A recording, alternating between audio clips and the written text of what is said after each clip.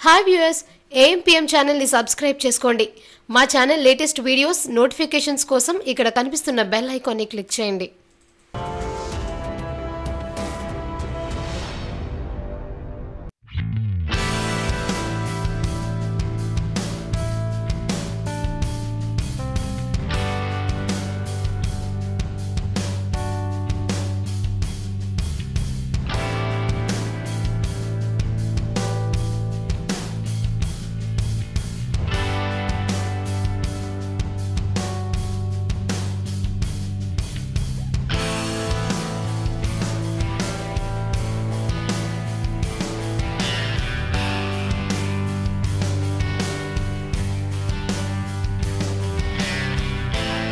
నా పేరు సత్యనారాయణ అండి. Local news papers association కన్వీనర్ని.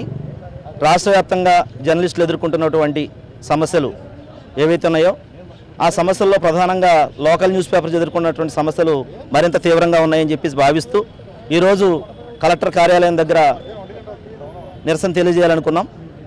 అదేవిధంగా కలెక్టర్ గారికి సీఎం ముఖ్య రాష్ట్ర ముఖ్యమంత్రి సీఎం గారు ఎవరైతే ఉన్నారో ఆయనకి కలెక్టర్ గారి ద్వారా మన సమస్యలతో కూడినటువంటి మెమోరాండాన్ని సబ్మిట్ చేయాలని చెప్పేసి ఉద్దేశంతో ఈ కార్యక్రమాన్ని ఏర్పాటు చేయడం జరిగింది. ఇటీవల కాలంలో అందరికీ తెలిసిన విషయమే రాష్ట్ర వ్యాప్తంగా జర్నలిస్టులకి ఇస్తున్నటువంటి ఎక్రిడేషన్స్ ఏవైతున్నాయో అవన్నీ మూడొంతులు కోత విధించి జర్నలిస్టులకి ఎవరికి కూడా ఎక్రిడేషన్స్ రాకుండా చేయడం కోసం ప్రభుత్వం ఒక కొత్త జీవో రిలీజ్ చేయాలని చెప్పి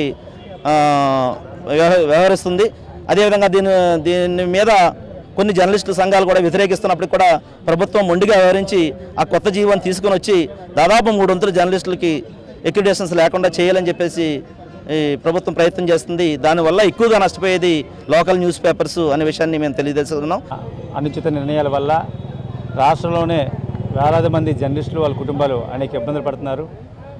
ఆదుకోవాల్సిన ప్రభుత్వం అడ్డగోలుగా అనేక జీవోల్ని జర్నలిస్టులు పేకు ఉరేసే విధంగా తయారు చేస్తున్నాయి.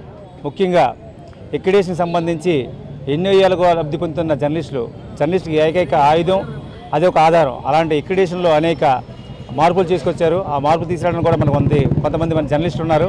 అయితే ఆ మార్పుల వల్ల ఇప్పటికే మండల రిపోర్టులకు రైల్వే పాస్ ఇవ్వట్లేదు దాని మీద పోరాటం జరుగుతుంది. అది చాలదన్నట్టు ఇప్పుడు జర్నలిస్టులకు ఉన్న ఎక్రిడేషన్ అర్హతను కూడా కోల్పోయే విధంగా అనేక నిబంధనలు పెట్టారు. ఆ నిబంధనల్ని తొలగించి పాత జీవనం కంటిన్యూ చేయమని అన్ని అన్ని యూనియన్ నాయకులు అడుగుతున్నారు. కొంతమంది యూనియన్ నాయకులు మరి ప్రభుత్వానికి ఒత్తాసు పలకడం వల్ల ఆ విధానాలు మారుతాయో లేదని చూడాలి. ఒక అలా చేయకపోతే పాత విధానాన్ని పట్టి పాటించకపోతే రాష్ట్ర వ్యాప్తంగా ఉన్న అన్ని పత్రికల వాళ్ళు ముఖ్యంగా చిన్న లోకల్ న్యూస్ పేపర్ వాళ్ళందరూ కూడా భారీ ఎత్తున ఆందోళన చేసే అవకాశాలు ఉన్నాయి